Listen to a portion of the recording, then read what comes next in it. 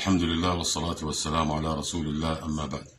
آه، ففي زمن الأزمات والحروب والأوبئة تنتشر ظاهرة خطيرة في المجتمعات وهي آه، الإشاعة. والإشاعة أيها الأحبة سلاح خطير يستخدمه ويطلقه آه، الأغبياء والمرضى ويصدقه الجهلاء. فالشائعة جاءت من شاء أشاعة أي انتشر وأن والشائعة تنتشر ويكون لها آثار سلبية على المجتمع.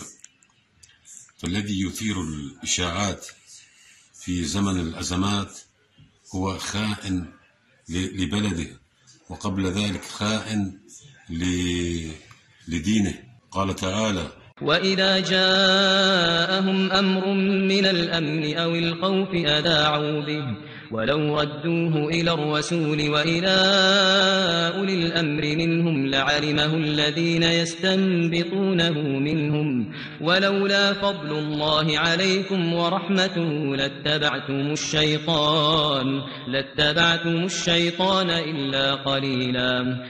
يعني بعض الناس إذا إذا جاءتهم الإشاعة آه، أشاعوها وزودوا في الكلام وكذا.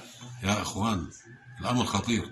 يعني بتطلع إشاعة من أحدهم يقول والله في المكان الفلاني في آه، وباء أو في بالمنطقة الفلانية آه، عند فلان آه، مصاب بالكورونا. هو غير مصاب. مثلا هذه إشاعة تثير الخوف والهلع عند الناس وهي حرب عليك. والإشاعة إذا أنا أطلقتها بتلف وبترجع علي أنا. أنا راح أدفع الثمن. لذلك النصيحة أيها الأحبة في هذا الزمن ها؟ في هذا الزمن في زمن الأزمات وزمن الأوبئة وزمن الفتن الأصل أن نرجع إلى الله ونخاف الله. نخاف الله في في الوطن ونخاف الله في الناس ونخاف الله في أولادنا لأن كل ذلك يرجع إلى أولادك. فاتق الله يا مطلق الإشاعة اتق الله. لا يعني لا تصدق كل كل ما تسمع.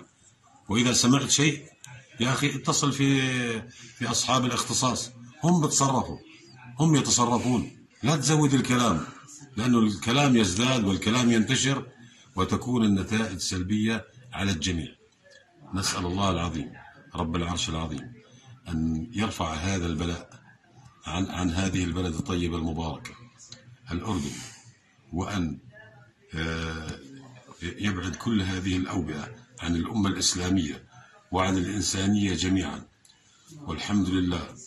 والصلاة والسلام على رسول الله. وكل عام وأنتم بخير.